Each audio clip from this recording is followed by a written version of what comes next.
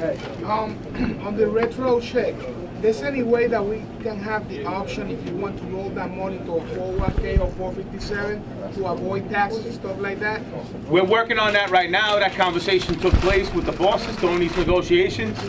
Um, there's two questions with the retro, whether or not it goes on a separate check or in the same check, and whether or not we can fold it into a 401k. There's precedent for MTA employees folding it into a 401k, and we're working on that.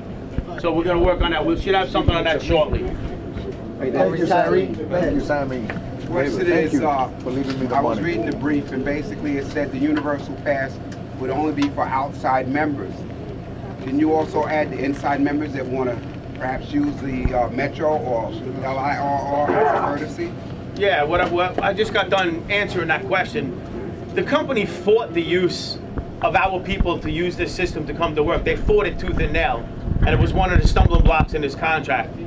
The the the the idea that everybody will be able to use this system, it's going to get addressed next contract. There's not there's only so many things that I can fix in a contract. There's only so many things that can be that can be mended up.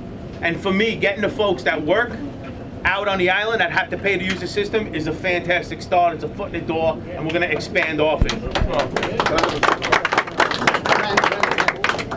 Yo, here, Gary yes.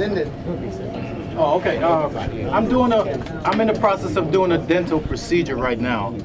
And the dentist informed me that I have to kick out at least $575 to complete the whole procedure. I guess, I don't know, it's a co-payment or whatever. How, with this new contract, you, would you say about half or, or, or three quarters of that will be, will disappear? I would tell you you should not get any more dental work done unless it's an emergency until we implement this dental plan. That's what I'll tell you. That's what I'll tell you because we have we're gonna we're gonna we're gonna have the, the details of the dental plan out. We're fine tuning it right now, but it's gonna get released soon. We have a managed care option and a PPO option. We're collectively there's 7,500 dentists in the New York area that are participating, as opposed to a clinic atmosphere. If you took one option on American Dental, which is you know taking kids to that one time and then you're going to another dentist. You're gonna find a dentist that you're gonna pay out of your pocket. That's all done. On the managed care option, almost everything is for free, including including orthodontics for your children. If you go into the managed care and you have two kids like I do that are going into years where they're gonna need orthodontics, you're gonna have eight thousand dollars in your pocket that you would have never had had we not won this benefit on the dental. So would implants be in that, on I'm the, not sure, I don't have it in front of me, but I guarantee you that if it's costing you that much under the existing plan, Right. that it'll be, it's either gonna be free or significantly discounted under the, under the plan that we're bringing to you. Significantly. Nate, yeah, go ahead. on pay progression from three years to five, is that on promotions too, or No. that's just through the door? And then No. that, the same? We had a big fight about that as well. In the, in, in the company's original proposal, they, they envisioned a, um, a progression for every time you got promoted. We wrote lock solid, lock solid language in the contract that says you can't be on a wage progression to top pay for more than five years, regardless of how many times you promote. So that's it. If you promote, you're gonna go, you, you, you can't get put into another progression. So it's still three years for promotion, It's still, it's five years in total. so. If you promote after four years, they can give you one more year of a, of a, of a one more year of a um, of a wage progression, and then they can't do it anymore. It, it ends at five. If you have seven years when you promote, there's no there, there's no five year there's no five year progression. So if you were here, let's say for ten years, you took a promotion, you have to wait five years to get the top pay. It's No, no, no. I'm saying the opposite. I'm saying the opposite. You get the top pay for that title immediately. One, one second, Steve, go ahead. In regards to this medical, we're we're gonna get, uh, how does that work with high rider, people that are paying into the high rider option right now? So nothing changes with the high rider option. You continue to pay at the same cost if you want it, but it would be my belief that when you, if you're in the high option rider, as many people are because of the GHI dental, it would be my belief that when you look at this dental plan, you're gonna get rid of the high option rider and save that money every month as well. So, and that's a big chunk of change for a family. Steve, It's a, it's real money. Steve. Did you say about Metro North gets a pass too, if you take, if you live upstate? Absolutely. All right, You know how much money that saves somebody, for, for instance, that lives in Brewster? Well, we have a lot, there's a lot of transit workers in Brewster. It's gotta be four or five hundred bucks a month. Four fifty from come by here. Yeah, well, it's back in your pocket. It's back in your pocket. And that's real money. That's significant money. So let me, let me just talk, there's a couple other points I wanna make. Okay. Them still got question. Okay, um, no, you got it written down. yes, sir. Uh, first of all, I'd like to know, no, in the past, ever since I've been on this job here, we've always signed three-year contracts. Why a five-year contract this time around? Yep. Can I answer that and then you'll ask the next one? Yes, sir, if it's okay with you. All right, so a three-year contract, had we signed a three-year contract, it would have expired in about six months and we would have been right back in a massive, in a massive contract fight with the company. Again, with part-time bus operators, Opto, and every other thing that we just closed the door on, guys. Now, the Long Island Railroad, Right. the president appointed a committee to, to negotiate their contract, and the arbitrator ruled that they should uh, be given like 2.83% for the next six years. Yeah, Uh, wouldn't it have been better for us to probably try the arbitration route? absolutely not. Like And absolutely not, and I'll tell you what. First of all, the Long Island Railroad contract includes years in that wage, in that, in that two point eight seven percent that you're 2.83, talking about, 2.83. point eight three. It includes years that expired before our two thousand twelve expiration. Years that we already got a four percent and a three percent wage increase. So if you look at the Long Island Railroad PEB recommendations, by the way, they're just recommendations, there's nothing binding on anybody. The Long Island Railroad may very well be forced to strike to get that, to get those wages. So if you look at going forward, the wa, and, and the, the wages going forward are not two point eight three because you have to take off the wages that they got retroactively that we've already been paid. And, and I think we made a four and a three in two thousand ten and two thousand eleven, the year before the contract expired. On top of that, the Long Island Railroad PEB recommended that they pay an additional two and a quarter percent on health benefits with no wage improve, with no benefit improvements whatsoever. So in other words, in order for us to, to go to arbitration and argue that the economic value of that contract, which is two point eight three. What are we're talking about for six years, we're talking about almost 16%, which is double what we, what we Yeah, but you're talking about also years prior to 2012 where they're without a contract where we had wage increases.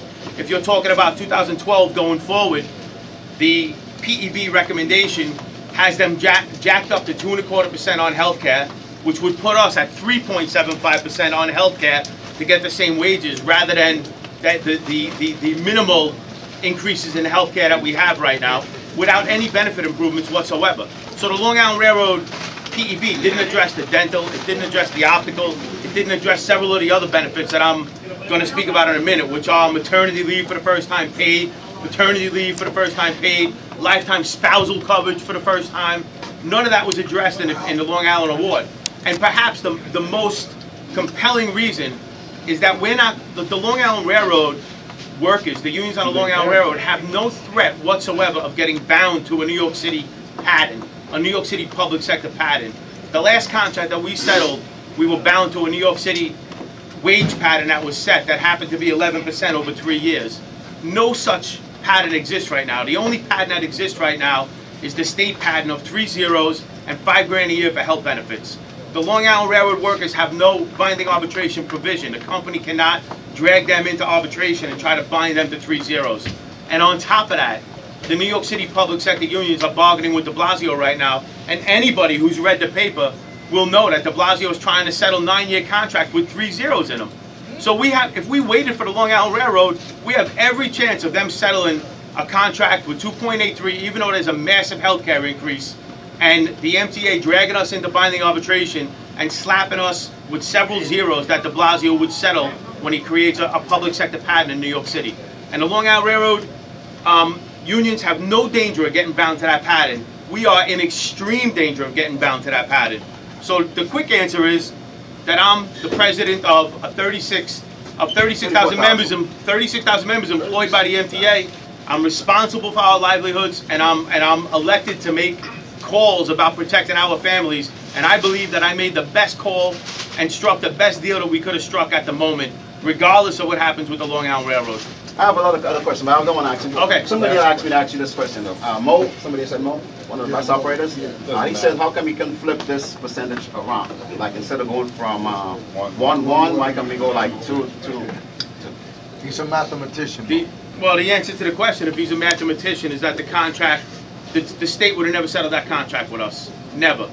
Never. The state was fighting to get part-time bus operator or opto to give any retroactive wage increases at all.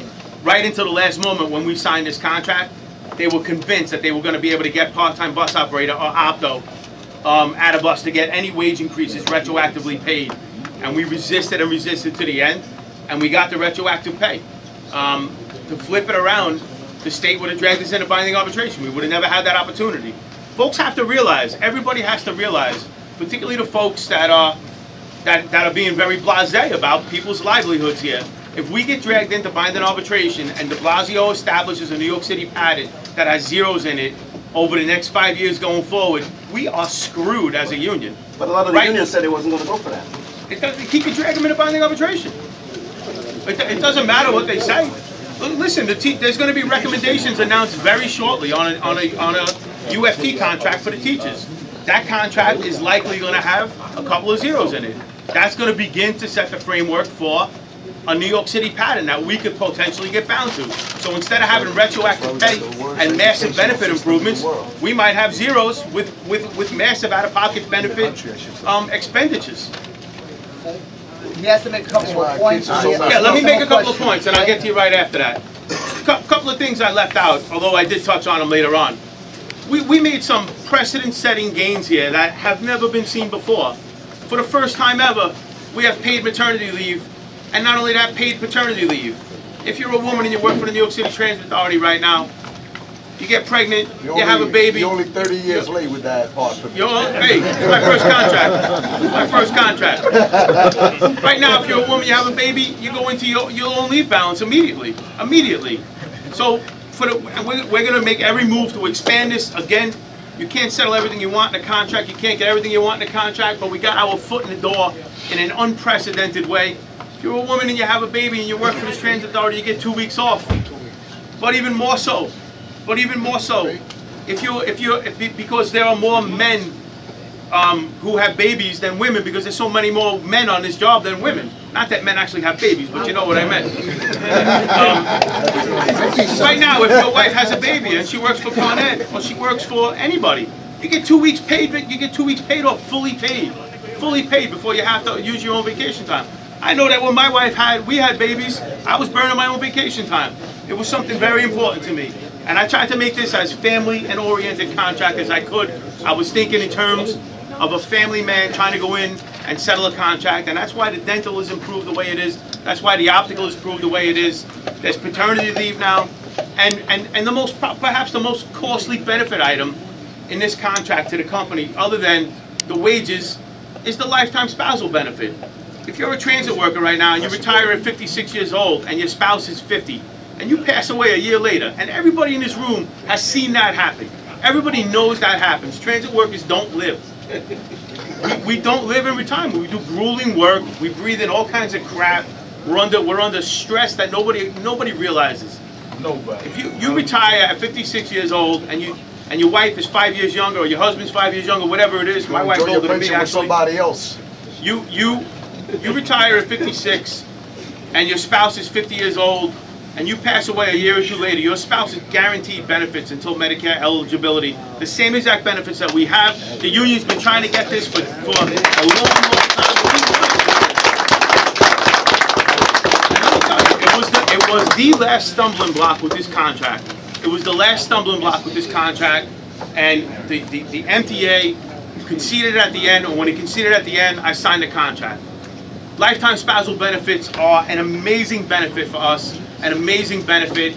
We retire, we have the peace of mind that our that our that our loved one is going to be taken care of once we're gone, whether we're here or not.